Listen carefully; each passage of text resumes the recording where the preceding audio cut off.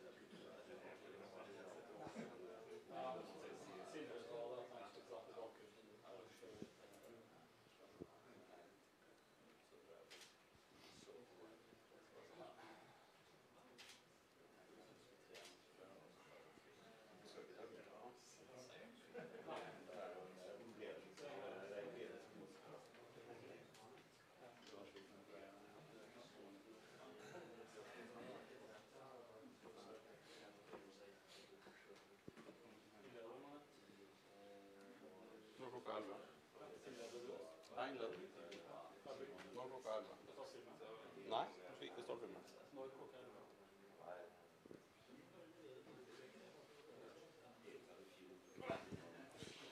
Yes, folkens. Da er klokka 11. Ehm, velkommen. Det er ikke akkurat hver dag vi eh, inviterer til pressekonferanse her på huset. Det er en, en stor dag for oss. Ehm, for en tid tilbake så fortalte vi at vi skulle gjøre en siste vurdering på om vi skulle ta det neste steget eh, og etablere det første norske profflaget.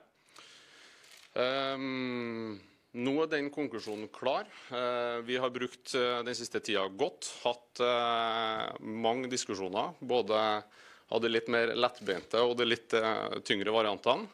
Ehm, Men vi er alle veldig stolt over det resultatet og det vi skal presentere her i dag.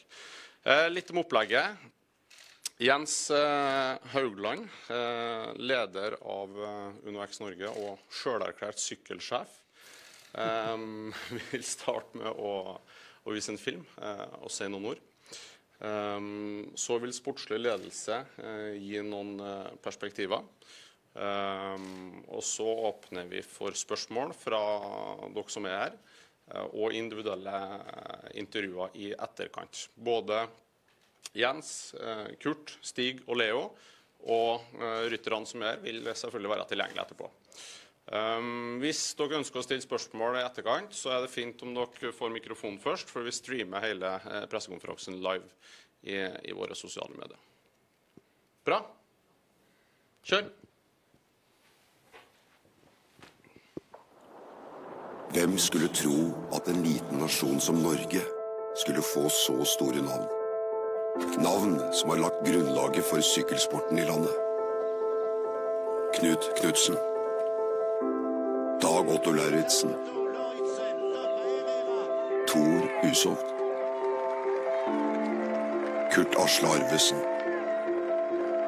Edvald Boasson Hagen. Alexander Kristoff.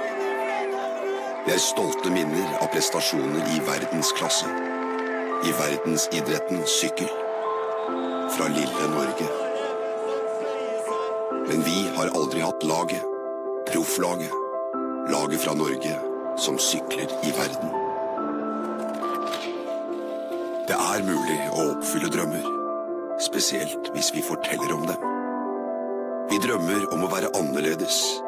Annerledes i ønsket om å bygge robuste mennesker. Robuste ryttere. Med gode verdier. Med samhold og mot. Den neste generasjonen av skandinaviske syklister. Det neste steget. På vår måte. I det første norske profflaget. Uno X. Norwegian Development Team. Vi er klare.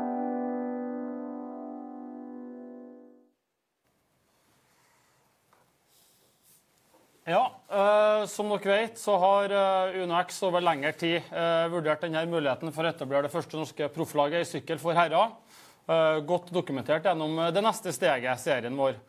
Og jeg skal ærlig innrømme at det er en stor drøm for oss å kunne si det her. Det er at vi som eier av UnoX Norwegian Development Team, i samråd med den gjengen rundt bordet her, etablerer det første norske profflaget for herrer i sykkel.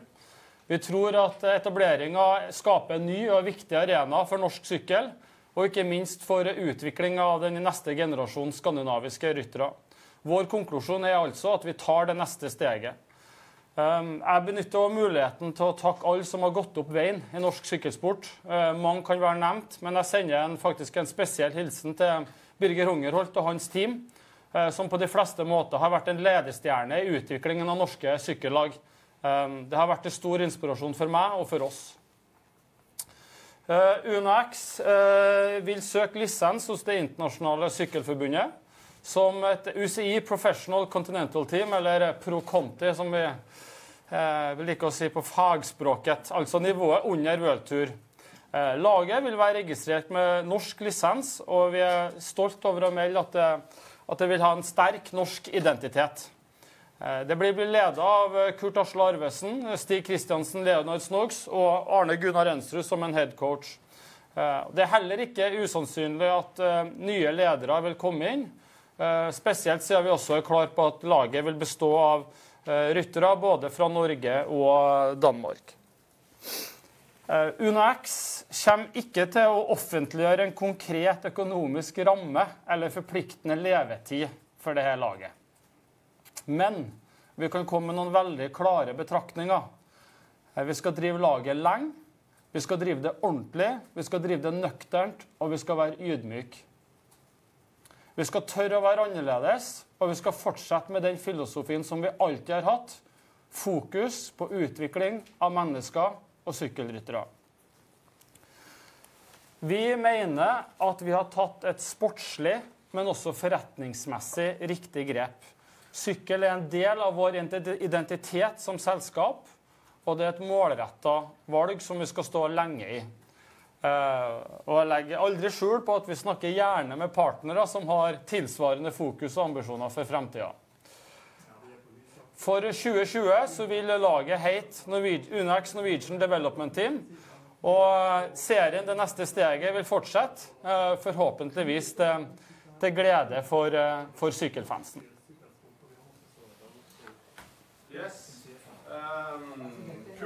Med din erfaring fra 14-15 år, eh, både som proffrytter og etter hvert som eh, sportsdirektør i, Team Sky, hva er det som eh, kreves i en sånn type satsing som, vi- som vi setter i gang nå?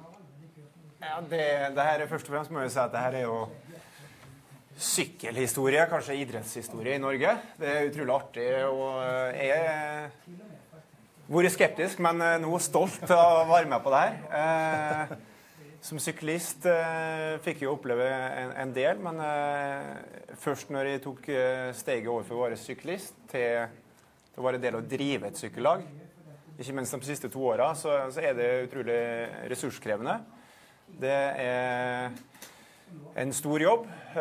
Heldigvis så begynner vi å få på plass en, en ganske bra struktur i laget.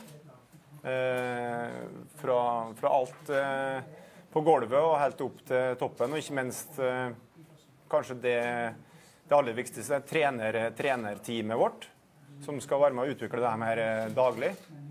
Og så da er det liv laga, og så er vi jo i en unik, heldig situasjon der en eier av et lag som UNEX vil putte så mye ressurser i der. Så, så da, er det, da er det håp. Eh, Det blir mye Selv om vi har tatt steget nå, så blir det knallhard jobbing eh, ut året for å være klar til 2020, eh, samtidig som vi skal fullføre det sportslige opplegget gjennom 19. Bra. Stig og, og Leo, litt mer eh, sportslig. Hva vil en sånn satsing som dette ha å si for utviklinga av, av eh, norsk og skandinavisk sykkelsport? Hvis du begynner, Stig. Ja, det er jo på mange måter eh, Hvis man eh, ser 10 og 20 år tilbake, og man kan se 10 dager tilbake på hva norsk sykkelsport er. Men på veldig mange måter så er det det, det manglende leddet. Jeg vet ikke hvor mange ganger jeg har sagt og forklart hvorfor vi ikke har den og den type ryttere, eller hvorfor den og den rytteren ikke lykkes i, i World Tour, så er dette et pro conti-lag, norsk, skandinavisk eh, pro conti-lag. Et, eh, et manglende ledd som skal være bindeleddet for, eh, for den type ryttere. Ikke for alle, men for, for mange. Og så har vi også veldig fokus på, på den unge delen, som skal bygge opp nye ryttere for, for fremtiden. Leo? Ja, nei, eh, igjen, det er jo en stor dag. Eh, og eh, sånn som eh, Stig sier eh, Det er jo Tidligere så har det vært eh, vanskelig å bli norsk proff ute i worldtouren. Og med Sånn som franske lag tidligere har opp, operert med pro conti-lag, får kjøre større løp. Vi vil nå ha tilgang til større løp. Og det vil jo være naturlig at vi kjører også større løp inn i programmet. Eh, og så er det jo en stor dag for eh, sykkelfansen eh, Norge.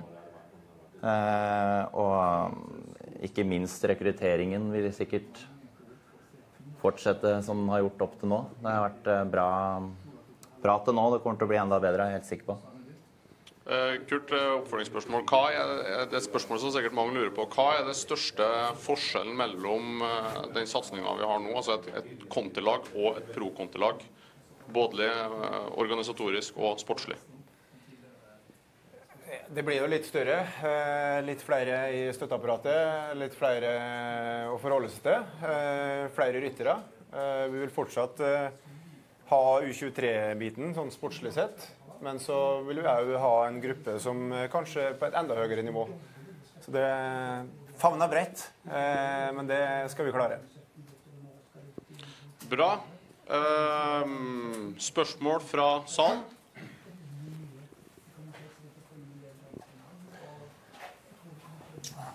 Ja, Henrik Alpers fra Landevei. Er den på? Ja. ja. Um, Ryttersdalen, hva gjør dere med den? Du nevnte Danmark. Eh, har du noen konkrete navn på ryttere, og eventuelt også antall norske utenlandske? Og om det blir flere nasjoner? 1. august man har lov til å signere rytter, er det ikke det? Nei, jeg kan siden jeg eh, dro den spøken, da. Men det, det er vel sant. Det er 1. august. Men eh, vi har jo altså vi har jo en eh, Vi har 17 ryttere i dag. Eh, det er ikke noe automatikk i at alle 17 får eh, en kontrakt i posten. Men det er helt åpenbart at eh, kjernen i det laget vi har i dag, den går videre. Og så eh, vi, har vi en åpning for, eh, for danske ryttere. Og så vet vi at det- skal være riktige ryttere i forhold til hvilket program vi velger. Og vi har, en, vi har flere lister, både når det gjelder hvilke, altså om det er klatretyper, spurter, klassiker, uh, unge ryttere. Så, så den jobben begynner jo først og fremst når vi nå eh, har eh, gått ut og sagt at nå blir vi pro Conti. Så nå eh, gjelder det å gjøre en jobb, og den må man være en klok jobb for å få riktige ryttere i, i den settingen vi ønsker. Men, eh, men, ingen, eh, men ingen håndfaste navn som vi kan gå ut med nå. Men altså som pro-kontolag så kan dere teoretisk sett bli invitert til eh, Tour de France. Eh, hvor satser man på nivåheving på stallen? Skal man hente ryttere på et helt annet nivå, eller skal man liksom bygge opp de rytterne som er? Kan du ta noe om det? Eh, Vi skal bygge opp de rytterne vi har. Vi skal, det, er, det er en av de eh, kjørereglene vi har. Altså, Vi skal jo ikke la noen av våre ryttere i stikken som, som viser eh, utvikling og viser arbeidsinnsats. Eh, Men eh, det er klart, når man eh, går pro Conti, så øker jo kravene også til, til en del av gruppen. Vi skal passe på å ikke gå skoa av oss og ta for store steg av gangen. Men de rytterne vi ser på, om det er danske, norske som, som ikke er her i dag, så snakker vi om ryttere av en, en viss kvalitet, ja. Så er det eh, viktig Jeg, jeg kan ikke si navn, altså, for det, vi har ikke, først, vi har ikke kontakta noen ennå. Vi, er- vi ønsker å be, først uh, gjøre beslutning om at vi, vi går pro Conti. Og så har vi snakka om uh, øns, ønskeliste vi har. Og så, uh, så er vi fortsatt såpass tidlig i sesongen med 2. april at vi vi skal ikke gå etter Ala, etter Filippe eller noe av den. Så de vi går etter, skal vi nok eh, klare å, å eh, få tak i. Og det, noen glipper, og noen kommer. Det, det er sykkelsporten. Og så er det jo viktig for oss å si det at vi, vi gjør jo ikke det her med å bli Vi har ikke noe ønske om å eh, bli dømt på hvor vi står hen om et halvt eller om et år, for det her er noe vi ønsker å gjøre lenge. Så vi skal ta de, de riktige valgene over lengre tid også, rytter- og sammensetningsmessig der. Eh, så eh, hva vi står med i neste sesong og sesongen der og sesongen der, det vil hele tida være i utvikling. Så eh, det blir en spennende jobb vi har foran oss også der. Så får vi se om, eh, om folk har lyst til å sykle for oss. da. Vi må først finne ut av det. Ja, for det, Vi vet jo ikke de vi har på ønskelista vår, om vi står på ønskelista deres. Så, men eh, det er helt klart. Altså, er, vi har en, god... en I verste fall så dytter vi inn eh, Vi har jo, vi har jo profesjonelle her som, som viser klasse, bare de får, får en sykkel.